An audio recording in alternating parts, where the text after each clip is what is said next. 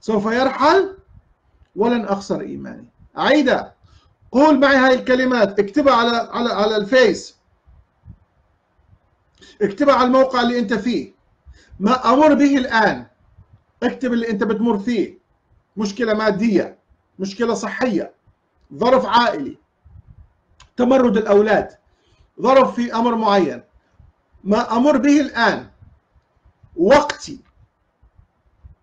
سوف يرحل ولن أخسر إيماني. كثير من المؤمنين عندما تحدث حرب روحية ضد ايمانهم يبدأون بإطلاق كلمات سلبية. انتبه الكلمات اللي لازم تطلقها في وقت الحرب الروحية هي أهم كلمات لازم تخرج من عندك. أهم كلمات لازم تخرج من عندك وقت ما أنت تواجه حرب إيمان. فلو أنت كلماتك كانت سلبية لو أنت كلماتك كانت انهزام لو أنت كلماتك كانت فشل لو أنت كلماتك كانت لعنات لو أنت كلماتك كانت ضعف لو انت كلماتك تشير إلى إلى ضعف في في قدرة وقوة عمل الصليب في حياتك لو انت كلماتك كانت فيها أمور غلط راح تواجه نفس ما انت تتكلم فيه. لكن لو أنا كلماتي كانت كلمات مبنية على ثقتي في الرب يعني أعطيك مثل لو أنا مريض عندي مرض معين كيف أتكلم؟ أعلن إعلان أعلن وعود الله. من خلال صوت مسموع. لو أنا أعاني من من من مرض بالمعدة أو بالقولون أعلن إنه الرب شفاني من 2000 سنة أنا مشفي. وأنا بحسب كلمة الله مبارك. وأنا بحسب كلمة الله بالارتفاع وليس بالانحطاط. وأنا دا أعلن وأنا دا أقول هذه الكلمات وأنا دا أقول هذه الأمور شعرت بألم في معدتي أو في قولوني أو في عظامي. كيف أتصرف؟ أعلن إني عندي إيمان عنيد عندي إيمان يواجه الألم اللي فيها أستمر في إعلان شفائي أستمر في ثقتي في الرب أستمر برغم الألم أستمر برغم الحالة اللي أنا فيها أستمر أقاوم أظل أقاوم إلى أن ينتهي هذا الموضوع. يمكن راح تقول لي هذا الكلام صعب راح أقول لك اختبار البارحه حصل معي. يوم أمس أنا حكيت مع مع أخت من الأخوات من بلد آخر بيننا وبين مسافات طويلة جدا وهذه الأخت كانت تعاني من آلام في ظهرها آلام في في في الأكتاف. بسبب أمور من الماضي هي ما كانت تعرف بها أمور من الماضي وضعها إبليس على حياتها وحاول يحني ظهرها ل 13 سنة. 13 سنة تعاني من أوجاع 13 سنة تعاني من ظهرها آلام في الظهر حرب. والأخت تروح كل أحد للكنيسة وتصلي ومؤمنه وقابلة الرب. لكن عندها مشكلة إبليس عامل ربط ابليس عامل مثل مثل المرأة المنحنية. فبدينا نصلي. بدينا بديت انتهر إبليس رفع ايده رفع القبضه قالت لي هي أول مرة أشعر إنه ظهري ما في وجع. ظهري سليم من الألم ما عندي مشكلة بظهري أنا أنا أنا شافيت بدأت تضحك وشها تغير. علامات الفرح دخلت على حياتها وزوجها. كان شيء ممتاز جدا. بعدها بيوم راحت الكنيسة يوم الأحد. هذا الكلام كان يمكن السبت افتكر الأحد راحت للكنيسة. وهي بالسيارة هي بالطريق شعرت بنفس الألم بنفس المكان بنفس الوضع. فاتصلت قالت لي أنا يصير عندي هذا الموضوع. قلت لها أعلني الآن دم يسوع على المكان وتذكري إنه هي أعراض وهمية لأن الرب شفاكي في نفس اللحظة أعلنت قالت دم يسوع على أكتافي. أنا شفيت الرب يسوع شفاني الرب يسوع حررني الرب يسوع افتقدني الرب يسوع أعطاني نعمة. ازداد إيمانه أول ما ازداد إيمانه قالت الوجع مرة ثانية غادر. غادر. تركني ترك ظهري. هي حقيقة هذا الأمر حصل امبارح. ما بدي أحكي لك شيء. سمعته هذا حصل معي امبارح. هذا هو الإيمان المعاند. إيمان قوي إيمان محارب. إيمان يعرف الانتصار إيمان لا يعرف الهزيمة إيمان يرفض أعراض المرض المزيفة. فالقاعدة الأولى اللي أخليها أمامي هي قاعدة مهمة جدا جدا جدا. قاعدة مهمة جدا. لازم أكون مؤمن عنيد وما أتزعزع بسرعة من أي شيء يحصل على حياتي وأبتدي أطلق كلمات سلبية وغن العالم انتهى أمامي. القاعدة الثانية هاي أول مرة تسمعوها مني. بعض الأمراض بعض الأمراض تقوم بعصيان كلمة الله. تبع على كلامي. بعض الأمراض برغم أنك تطلق عليها كلمة الله لكن تحاول تقاوم تحاول تعصى تحاول آه، ما تطيع. وهذا هو حرب الإيمان. تحارب مثل ما عندك ناس تعصي البلد أو تعصي القانون. هل كل الناس اللي بالبلد هم مساندين لقانون البلد أو مساندين للبلد؟ لا في عصيان في تمرد. بعض الأمراض تعصى بعض الأمراض تتمرد. حرب الإيمان يكون مع هذا العصيان لكلمة الله. يجب أن تطلق إيمانك ضد الأمراض العاصية. تتكلم مع المرض. المرض اللي رافض الطاعة لكلمة الله. قال بولس الجسد يشتهي ضد الروح والروح ضد الجسد ويقاوم أحدهم الآخر. لازم توجه كلمات لجسدك وللمرض بسلطان اسم يسوع لكي تنحني هذه الظروف أمام إيمانك القوي الذي لا يستسلم اجعل إيمانك عنيد ضد الظروف العنيدة. قال الرب يسوع قال بولس الرسول في في رومية 8 لا دينون الآن على الذين هم في المسيح يسوع السالكين. ليس بحسب الجسد. ليس بحسب الجسد. بل بحسب الروح لأن ناموس روح الحياة في المسيح يسوع قد أعتقني من ناموس. كلمة ناموس يعني قانون قوة القانون من ناموس الخطيئة والموت. فإذا في جسدي أكو ناموس وفي روحي أكو ناموس آخر. ناموس الجسد يتمرد على ناموس الروح.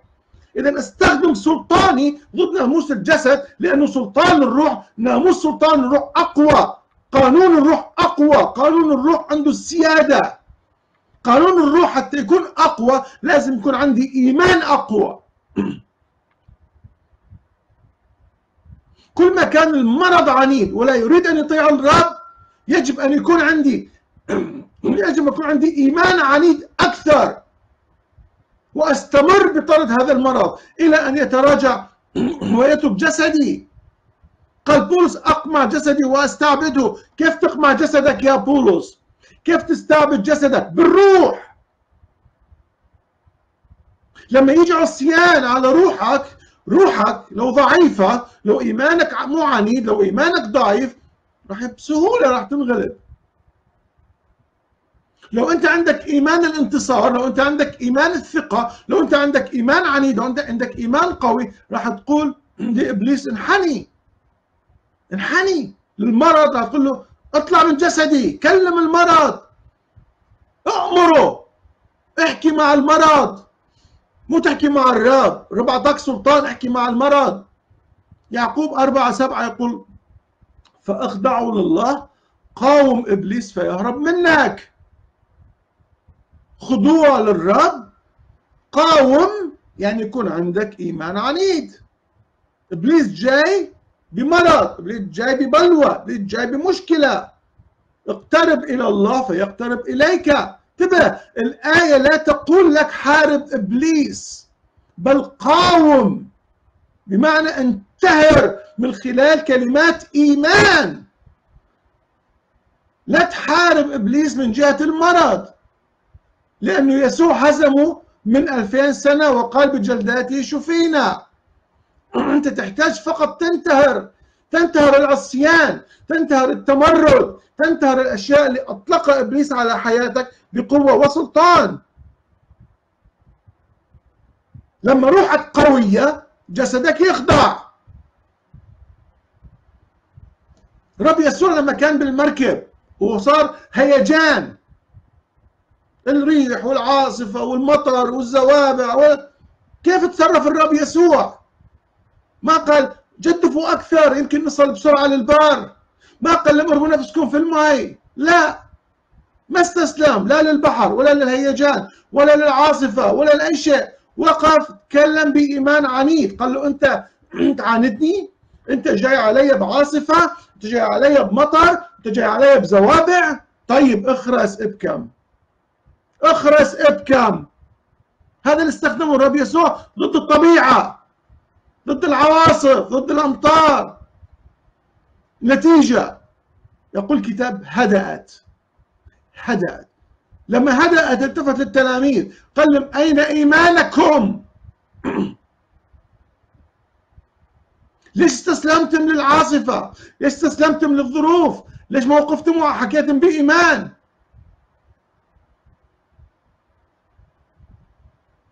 قاعدة الثالثة هي أن الحرب قد حسمت لأجلك. وأنت, وأنت عندما وأنا عندما أواجه حرب فهي حرب غير شريرة. انتبه بعض الأوقات إحنا نظن أنه كل ما نشتأس فيه هي حروب شريرة ضدنا من العدو. كل ما أمر أنا أدخل فيه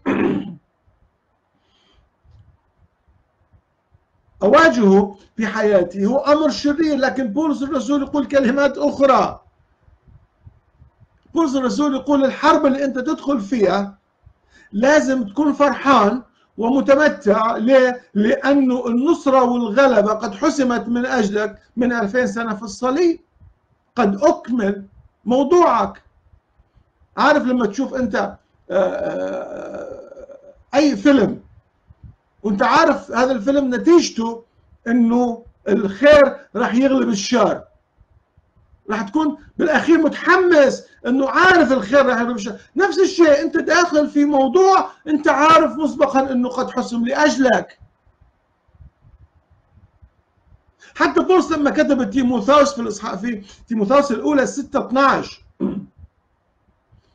قال له جاهد أي قاوم جهاد الإيمان الحسن أو جاهدوا جهاد الإيمان الحسن. امسك شوف الكلمات. أول شيء قاوم جاهد لإيمانك جاهد في إيمانك الحسن واحد تيموثاوس 6 12 اثنين امسك امسك بقوة بإيش امسك يا رب؟ بالحياة الأبدية التي إليها دعيت أيضا. ثلاثة اعترف واعترف. الاعتراف الحسن أمام شهود كثيرين. إذا ثلاث خطوات مهمة. قاوم امسك اعترف. خليها أمامك حتى تغلب. قاوم. جاهد لكن بفرح. مش بحزن واضطراب. مش بضعف إيمان. هذا واحد. اثنين امسك بقوة بوعود الله. رب وعدك بالحياة الأبدية. رب وعدك بالنصرة. وضع الأبدية في قلوبهم. رب أعطاك. قد اقترب ملكوت الله. قد أعطاك حياة. حياة أفضل. إذا أنا أمسك بما وعدني في الرب. طب بس أمسك؟ لا. اعترف. تكلم. انطق. طلع صوتك. واعترفت الاعتراف الحسن أمام الناس. شهود كثيرين. ثلاث خطوات. هذا اللي يحرك إيمانك. ذلك يقول في كورنثوس الثانية 4 16 لذلك لا نفشل. بل وإن كان إنسانا الخارج يفنى فالداخل يتجدد يوما ف... يوما فيوما ليش يتجدد؟ ليش الداخل لازم دائما يتجدد؟ ليه الإيمان لازم يتجدد؟ لأنه لو إيمانك يتجدد فالإنسان الخارج الذي يفنى راح يتغير خلينا نعطيك أمثلة أكمل لك الآية. لأن خفة ضيقتنا الوقتية تنشأ لنا أكثر فأكثر ثقل مجد أبدي ونحن غير ناظرين إلى الأشياء التي ترى بل إلى التي لا ترى لأن التي ترى وقتية وأما التي لا ترى فأبدية. بمعنى آخر قوي إيمانك يتغير تتغير حياتك. قوي إيمانك قوي إيمانك من الخارج راح تلقي حياتك اختلفت اختلاف كامل. لا تنظر وتحسم الأمور من خلال نظرك. أعطيك مثلين وأختم بها الدرس لأن الوقت خلاص مشي. داود وقف أمام جولياط. جولياط كان شايفينه كل شعب إسرائيل كل الجيش. كانوا شايفينه واحد قوي ضخم طويل رجل حرب. وظل يعير صفوف إله إسرائيل وظل يعير والكل كانوا خايفين لأنه شافوا جولياط كبير. شافوا جولياط في شخص مرعب. شافوا جولياط في شخص مش قادرين يتواجهون معه ولا قادرين يتكلمون معه ولا قادرين يتعاملوا مع هذا الشخص. داود شاف نفس المنظر شاف نفس الشخص وسمع نفس الأصوات في نفس المكان. لكن كيف تعامل داود مع جولياط؟ هل شاف وقرر من خلال النظر ولا قال في داخله أمر آخر؟ كان في داخله إيمان آخر. هل تأثر بضخامة الموضوع بضخامة المشكلة ولا قال اليوم أضعك الرب في يدي فأقطع رأسك وأرمي لحمك لوحوش البرية؟ بشنو انتصر داود؟ مش بسيف ولا برمح. انتصر من خلال إيمان قوي جدا إيمان عنيد.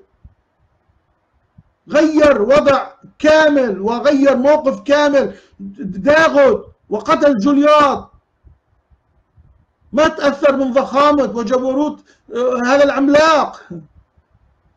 قال كما قتلت الأسد والدب كذلك يكون هذا الأغلف كواحد منهم. شوف الكلام نطق تكلم على صوته. قالوا ما راح تقدر. قال لهم حاله حال الدب والأسد. حاله حال أي واحد واقف أمامي. اليوم أنت لو عندك شغلة كبيرة مثل جولياط قل حالة حال الفلو. حالة حال موضوع بسيط. حالة حال أي أمر آخر راح ينتهي اليوم باسم يسوع المسيح الناصر. هذا إيماني. قال يحبسك الرب اليوم في يدي. ما أعطى اعتبار لقوة جولياط ما اهتم من جبروت جولياط ما اهتم من طول وعرض جولياط ولا تأثر بجولياط ولا هز شعره من رأس جولياط. قال أنا عندي إله عظيم أكبر من جولياط ذاتي لي بسيف ورمح أما أنا أما أنا كم واحد يكمل؟ آتي إليك باسم رب الجنود. آتي إليك باسم رب الجنود. يحبسك الرب اليوم في يدي. قف اليوم وصلي هاي الصلاة. قدام المرض.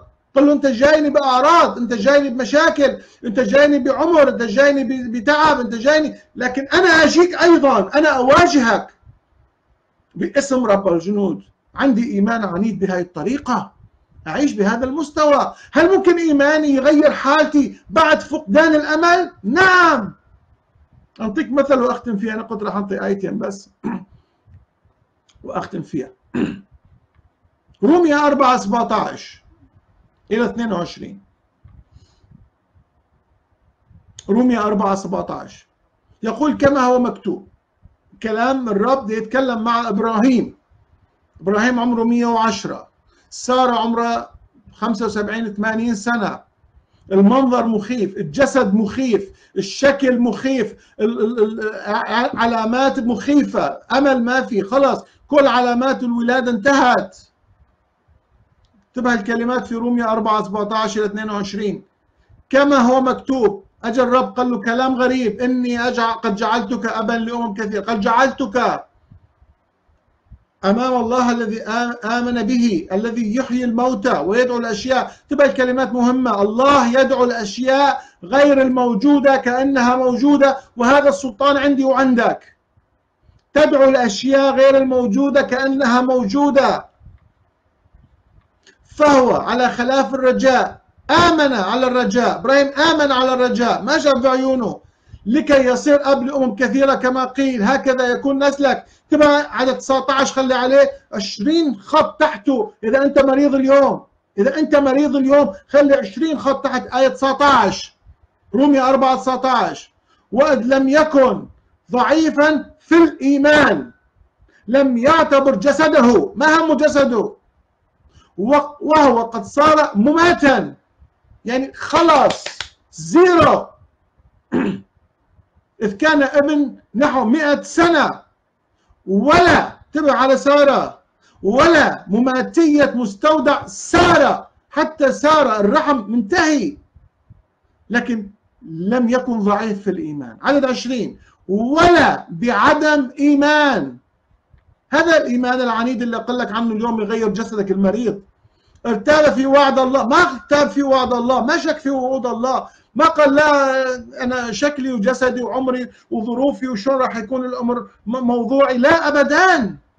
جدد إيمانه بوعد الله ولا بعدم إيمان. ارتاب في وعود الله بل تقوى بالإيمان العنيد.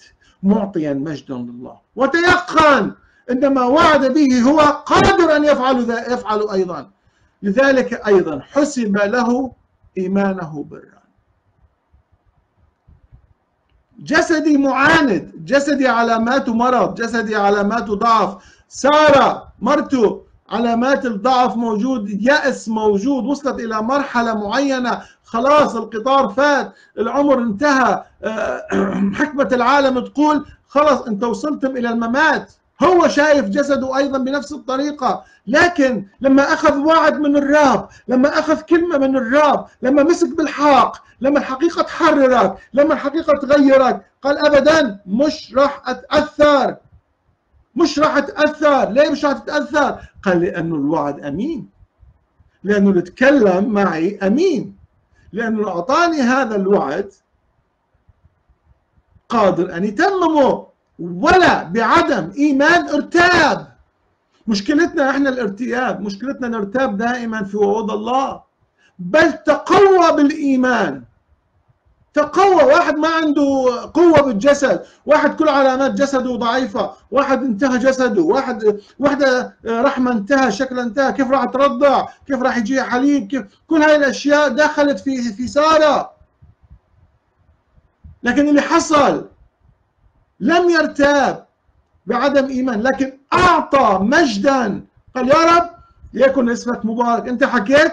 خلاص الموضوع أنا أخذته جارنتي وتيقن والتيقن عندي جارنتي كان عنده يقين إن ما وعد به هو قادر أن يفعله. الرب قادر يشفيك ويشفيني. الرب قادر يغير إيمانك وإيماني. الرب قادر يخلي فينا إيمان عنيد. الرب قادر يحول مستودعك اليوم اللي ما يحمل أطفال إلى مستودع يحمل أطفال. الرب قادر أن يوقفك من جديد ويخليك إنسان مختلف ويشافي جسدك. الرب قادر. هذا هو الإيمان العنيد. لازم يكون عندك إيمان مثل إبراهيم لازم يكون عندك إيمان مثل داود لازم يكون عندك إيمان مثل تيموثاوس لازم يكون عندك إيمان حقيقي أنت في زمن أفضل أنت في وعد أفضل أنت في حياة أفضل. قوي إيمانك اليوم لا ترتاب. تكلم مع إبليس قل له لا يا إبليس أنا شفيت من مرضي. أنا اليوم أعلن إني أنا شفيت من مرضي. اقتنع. آية 21 وتيقن أي اقتنع تماما. بأن ما وعد به الله يفعله